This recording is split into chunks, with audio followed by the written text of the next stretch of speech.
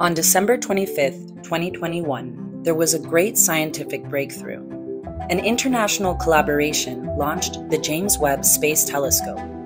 This incredible invention will allow us to gather some of the most thorough collections of data in the history of the world. You might have seen some of them. Our connection to the rest of the universe just became bigger than ever, opening new, awe inspiring potential for humanity. Click the link in our bio to learn more.